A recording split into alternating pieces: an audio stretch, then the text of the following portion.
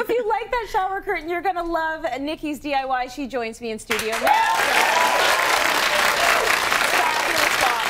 Um, let's talk a little bit about how you why you might want to DIY your own shower curtain Yes. because you just might not see what you want out there, right? Right. There's tons of shower curtains, curtains out there, and I see a lot of them have smaller prints, and um, you want sometimes you want a lot of impact. So we have here this beautiful shower curtain, but this shower curtain is $120. So you know, unless the shower curtain is also going to bathe you, you know, I couldn't afford uh, $120 for a shower curtain, so I decided Yes. to make my own.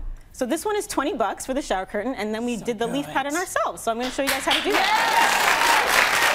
120 to 20. She $100 and she's going to show you how to do that. Yes. So how did you so do I've? I've made tons of mistakes with this, so I did all the mistakes so you guys don't have to. Perfect. So first thing you want to get is some sort of transparent sheet. Um, you can pick this up at the dollar store. The first one that I picked up actually was one of those book protective wraps that have like a, um, sticky film on the other side. Now that's good if you're only doing one pattern, like one stamp. But if you have to pick that up and move it somewhere else, it sticks and it's just it doesn't work. So get something Okay. that if you're doing more than one pattern, then do um, something that doesn't is not sticky. Got it. So you take your pattern, you can print it off the internet or find some pattern that you like, and literally just trace it out on the clear Plastic. plastic. So Okay.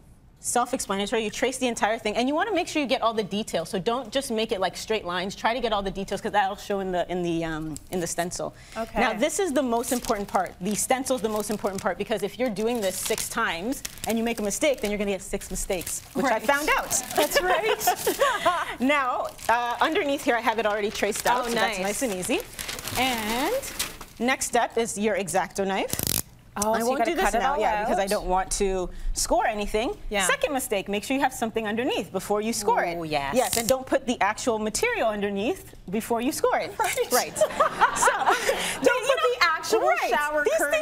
underneath it when you're cutting it up. Right. They This seem is a good they tip. seem very easy, but for some, I, I was doing it at three o'clock in the morning, so maybe that's why. But um, you get sponges. This Yeah. is I got from the dollar store. Um, I'm trying to think if I remember. Yes, that's fine. So you transfer it onto the actual Yeah. pattern now.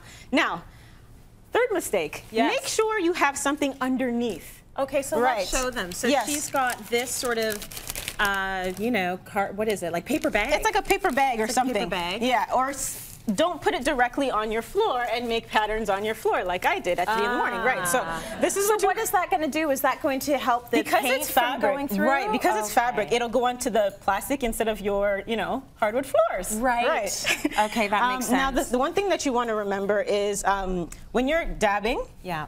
dab it off a little bit. Um, with me, I kind of dab it in the middle because the middle part is going to be uh, full anyways. But you know, you take a little bit at a time and you kind of work your way in. Now, oh, the other thing, fabric paint. Mm-hmm. You want to make sure you're using the right paint. So pick up some fabric paint um, at your um, craft store and. Mm-hmm. Uh, that will allow you to be able to wash and do what you need to do with this. And you pretty much just work your way in. Now, I'm going to show you some tricks because this pattern has a lot of these little fringe edges, right? It does. So don't be scared of them. Literally, all you have to do is hold it down, Yeah. and instead of dabbing on these ones, drag. And it allows you to get this like clean edge. You know what I mean? So drag across and just work your way through the entire thing, and it makes it super easy. Okay.